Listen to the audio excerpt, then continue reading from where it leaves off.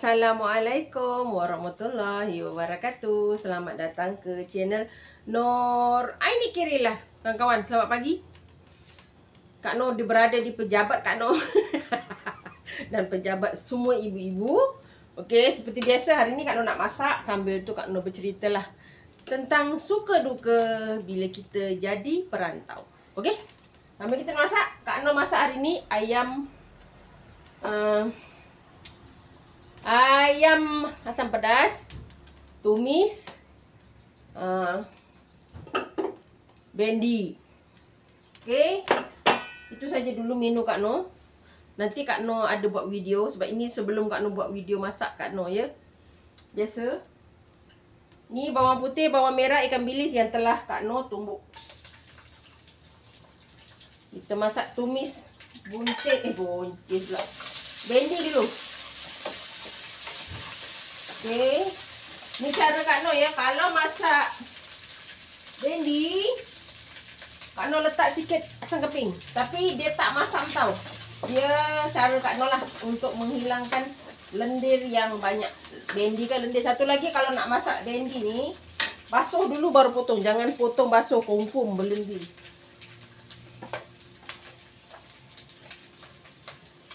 Garam. Kawan-kawan nak letak perasa boleh. Serbuk kunyit. Serbuk kunyit sikit lah. Okay. Biasa kita masak mak-mak kan. Kak Nok ada juga sotong tapi tak tahulah nak masak ke tak. Bendi kita.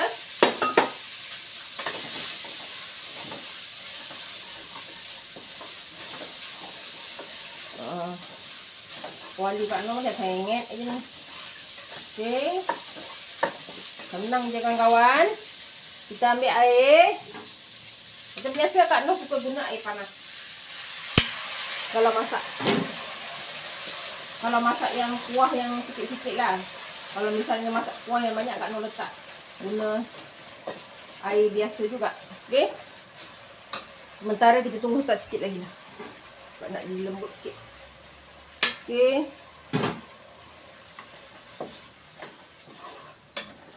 Yang tu sebelah Kak Noh rebus kentang untuk resipi video Kak Noh. Okey.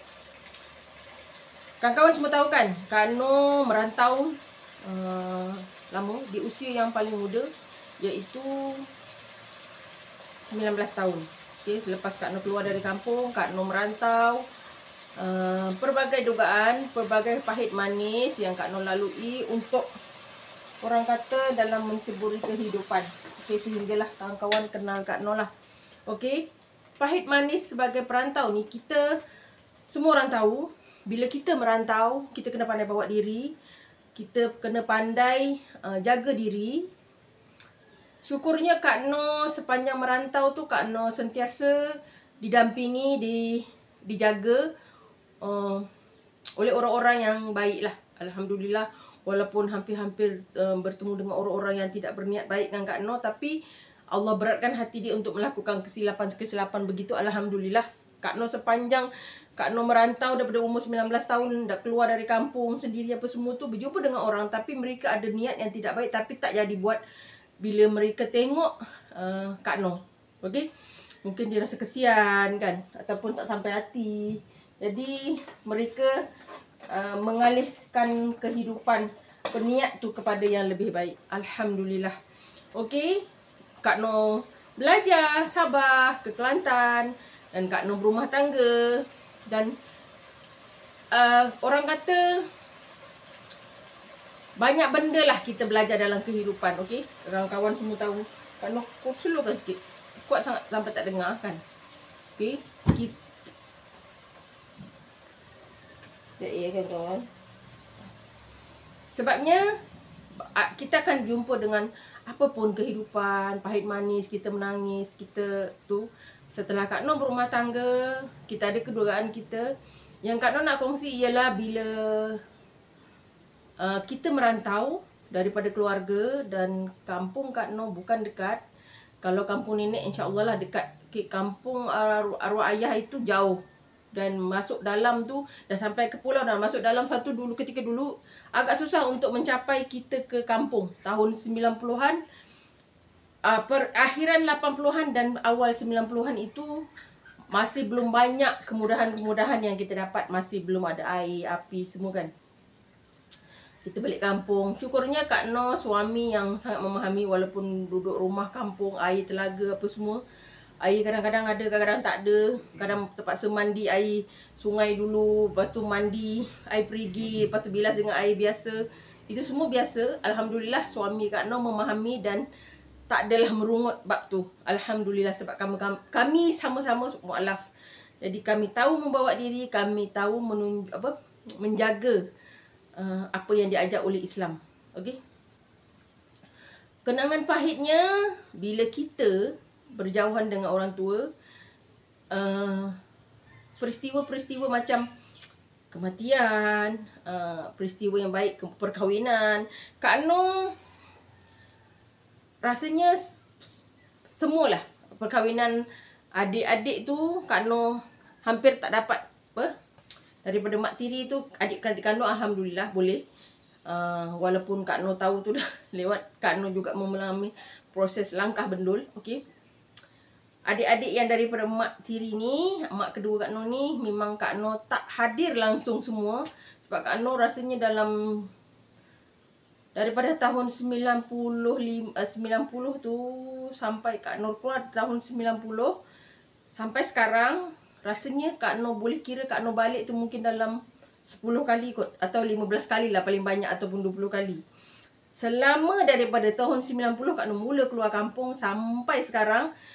Banyak tu je Kak Noh sempat balik. Ya.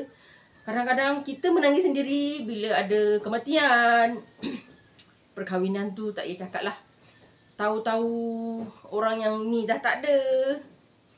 Tahu-tahu Semualah ada saudara mara yang ni tak ada, ini tak ada kan. Kita kadang-kadang kita balik sekali tu jumpa, lepas tu kita balik lagi selepas 5 tahun atau 2 tahun lepas tu dah tak ada macam tu lah.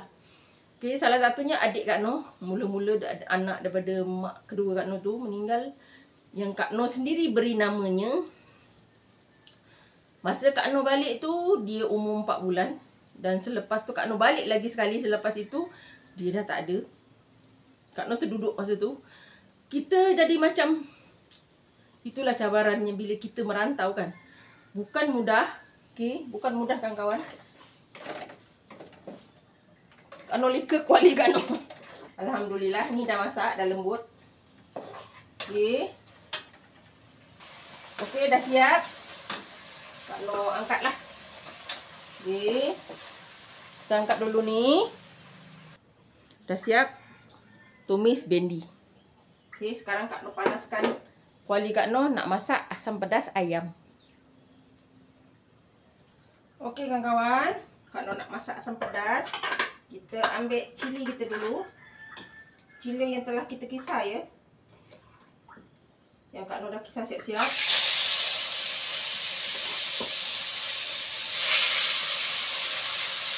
Tak payah banyak dulu kawan. Yang ni Kak Noh tumis ya. Asam pedasnya.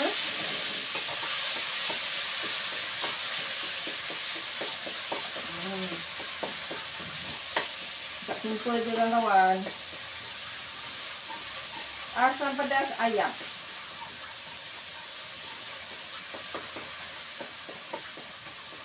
Hmm.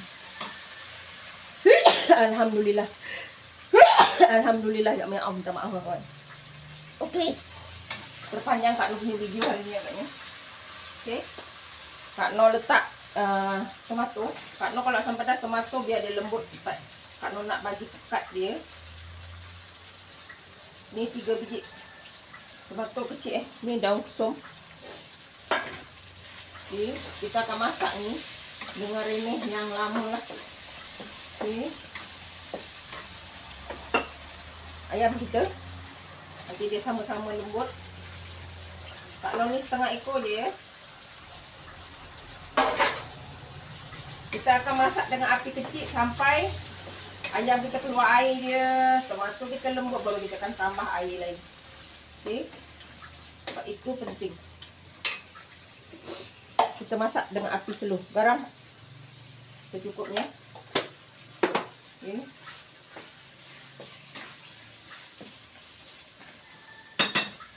Oi, jangan diketuk-ketuk kuali. Okey, kawan-kawan kita biarkan dia merenih. Okey. Itulah dia cabarannya uh, bila kita merantau ni banyak benda sedihnya lah. Okey. Cuma Kak Noh beruntung masa arwah ayah sakit, uh, masa tu uh, masih dah ada telefon semua. Adik bagi tahu ayah dah sakit, Kak Noh ulang ke hospital bila Kak Noh sempat lah sebab suami Kak Noh kerja dia tak tentu masa kawan-kawan dia ada jaga kawasan dia dia ada jaga daerah-daerah yang dia perlu jaga dia ada buat pemantauan jadi agak susah untuk kami pergi pada waktu-waktu biasa. Syukurnya masa arwah ayah sakit Kak Nur masih duduk dekat Syah Alam. Jadi Kak Nur berulang alik ke Kelang untuk tengok ayah. Kami sempat bawa ayah ke rumah kami di Syah Alam untuk kami jaga sekejap. Seminggu lepas tu kami hantar balik ke kampung dan ayah masuk semula ke hospital selepas lepas tu keadaan ayah agak tenat. Jadi kami balik kampung lah ketika itu. Dan sempat jaga ayah dua hari selepas itu ayah meninggal. Okay. kemudian arwah nenek meninggal. Kak Noh memang tak pergi uh, atas alasan yang sama. Family kuang suami tak ada dan ada juga alasan yang lain yang Kak Noh tak perlu cerita. Sebabnya Kak Noh bila kita merantau ni ada satu benda dan ada satu perkataan yang akan keluar daripada saudara mara. Macam biasa kata kau tak mengenang budi, kau tak jaga pada nenek kau jaga kecil. Kita ada alasan kita dan kita lebih faham. Tapi Kak No takkan menidakkan apa yang mereka cakap. Kau ni dia kecil-kecil, dia jaga, lebih besar tak nak datang. Kadang-kadang bila jumpa, kenapa ya kau tak balik masa nenek kau meninggal, saudara kau tak tengok apa semua. Kita ada alasan kita. Tapi Kak No takkan membantah. Kak No akan diam saja. Itu lebih baik sebenarnya. Kalau bagi Kak No lah itu risiko yang kita kena terima dan kita tak boleh nak suruh orang faham keadaan kita. Dan mereka juga uh, tak boleh nak salahkan mereka sebab mereka juga tak tahu. Kita nak terangkan pun tak boleh. Dan kita untuk membela diri tu akan nampak menidakkan sesuatu. Jadi Kak Noh memilih untuk diam.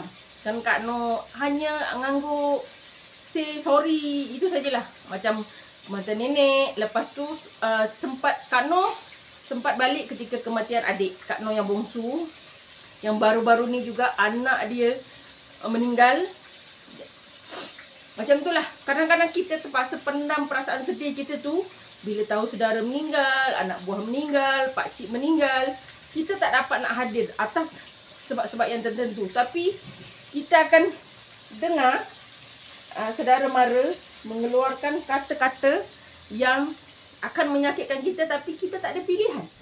Kita tak ada pilihan. Itu adalah risikonya bila kita merantau. Dia kata sekarang dah muda takkan tak boleh balik ada kereta apa semua. Sebab kita tak boleh salahkan orang sebab kita pun tak mampu nak jelaskan sesuatu. Kalau kita kata oh, saya gini-gini orang kata alah orang lain pun kerja, orang lain pun merantau tapi boleh je balik. Daripada kita memberi alasan yang macam tu lebih baik kita diam.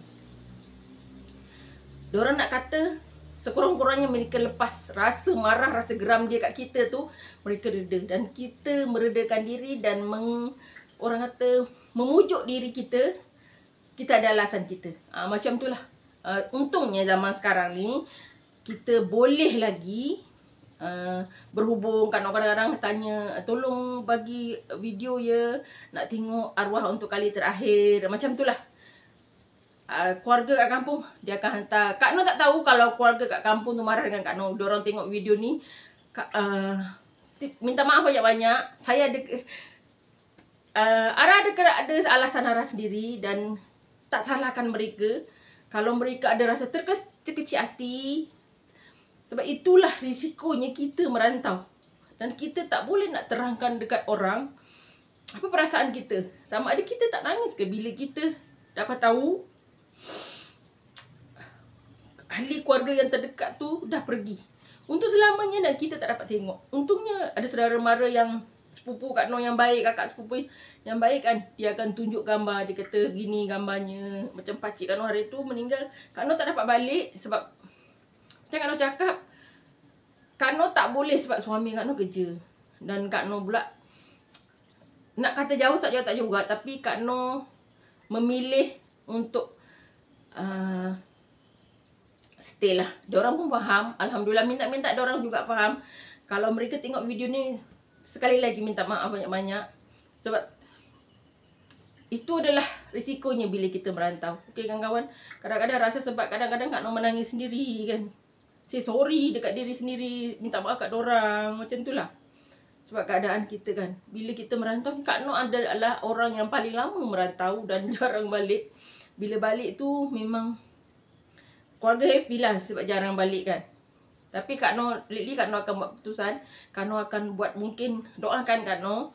Mungkin buat pondok ke, buat rumah kecil ke kat kampung. Agar Kak Noh lebih kerap balik kampung. Sebab kita dah berusia ni, takut juga kita tak sempat kan. Jadi, doakan. Mudah-mudahan Kak Noh dapat kumpul sedikit rezeki untuk buat pondok dekat kampung agar Kak Noh ada rumah sendiri untuk Kak Noh kerap balik. Mudah-mudahan. Okey. Itu sajalah. Ini masak kita sambung. Kalau cerita ni mau 20 minit setengah jam tak habis. Okey, itulah risikonya bila kita merantau. Tapi Kak Noh tak minta ataupun marah dengan orang yang berkata kan tak kenang budi, tak tahu nak balik, orang lain balik tak balik.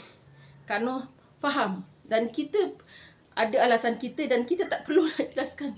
Kita tahu. Biarlah mereka nak berkata mungkin lega apa? Perasaan mereka kan rasa marah mereka kat kita tu. Kita uh, redha je lah. Okey, itu saja video Kak Noh hari ni. Bersyukur selalu dengan apa yang telah diberikan kepada kita dan jalannya dengan ikhlas salam sayang dari Kak Noh. Assalamualaikum.